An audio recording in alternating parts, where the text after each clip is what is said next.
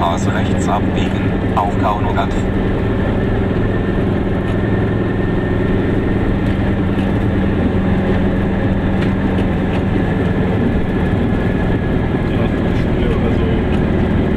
Jetzt rechts abbiegen.